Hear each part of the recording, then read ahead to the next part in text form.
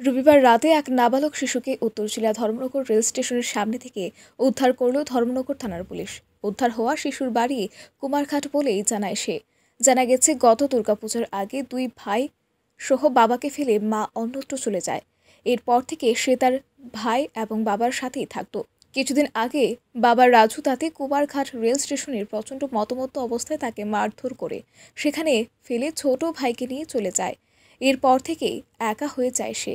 ধর্মনগরে মামার বাড়ি যাবার জন্য সে ট্রেনে চেপে ধর্মনগর আসে। কিন্তু মামার বাড়ির ঠিকানা না জানায় সে সেখানে যেতে পারেনি। অসহায় অবস্থায় ধর্মনগর রেল স্টেশনে ঘোরাফেরা করতে থাকে। রেল স্টেশনে আসা মানুষজনদের দয়া ভিক্ষায় চার দিন অতিবাহিত করে ধর্মনগর রেল স্টেশনে। অবশেষে রবিবার স্টেশন এলাকার জনৈক প্রমোদ সিং এর নজরে পড়ে ওই নাবালক। তিনি নাবালকের সাথে কথা বলে তার করুণ কাহিনী শুনে ধর্মনগর থানায় ফোন করেন।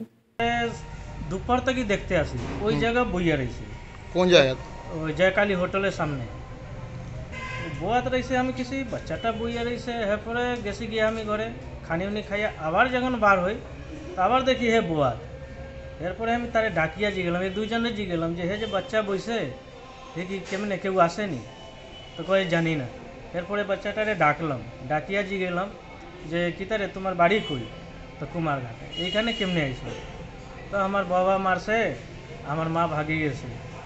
আমি খাইছইছ নি তো অল্প অল্প খাইছি, আমি চল খাইলে ওই চায়ের দোকানে লিয়ে রুটি খাওয়াইলাম।